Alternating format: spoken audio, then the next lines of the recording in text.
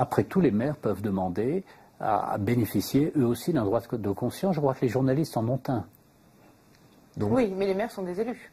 Les maires sont des élus. Ils, sont pas ils sont élus, mais pas nécessairement pour n'importe quoi. Très bien, merci Michael Zamès. Merci Gérard Longuet d'avoir été euh, notre invité euh, ce soir. Bonne soirée à tous sur l'antenne de Public Sénat. Merci.